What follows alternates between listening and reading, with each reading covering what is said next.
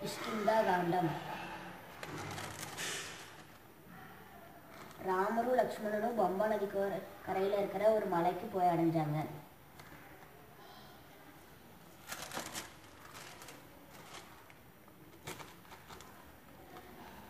அஹ் ஹனு சுக்ரீவனும் தன்னோட மந்திரி ஹனுமனும் தூரத்துலேருந்து நடந்து வரும்போது ராமரும் லக்ஷ்மணனும் நடந்து வர்றதை பார்த்துட்டு வாலியோட கூட்டாளியோன்னு நினச்சிட்டு பிக்ஷுவை போல வேடமிட்டு வந்தாங்க.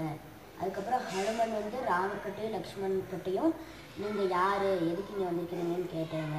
கேட்டோன்னே ராமர் வந்து நான் உங்களோட என்னோடய மனைவியையும் என்னோடய நாட்டையும் இழந்துட்டேன். அதனால தான் நான் இங்கே இருக்கேன் அப்படின்னாங்க. அப்புறம் லக்ஷ்மணன் வந்து திருப்பி அதே கேள்வியை ஹனுமன் கிட்ட கேட்டாங்க.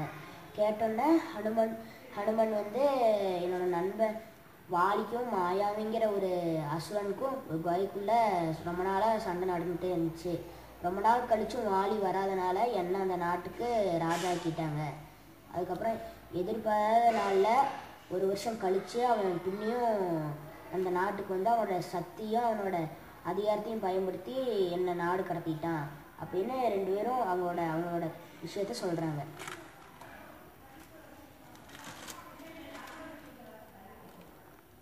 அதுக்கப்புறம் ஹனுமன் வந்து ஹனுமனுக்கு வந்து எல்லாம் தெரிஞ்சதுக்கப்புறம் அவர் அவரோட நிஜமான விஸ்வரூபத்தை எடுத்து ராமரையும் லக்ஷ்மணனையும் கையெடுத்து கும்பி கும்பிட்டு கும்பிட்டுக்கிறாங்க.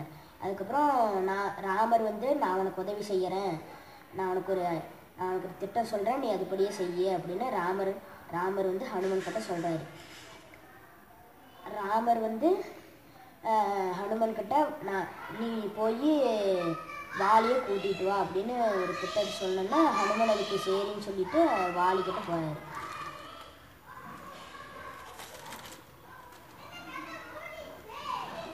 ஹனுமன் ஹனுமன் வாலி போ ஹனுமன் வாலிக்கட்ட போய் அவரை போருக்கு அழைக்கிறாங்க.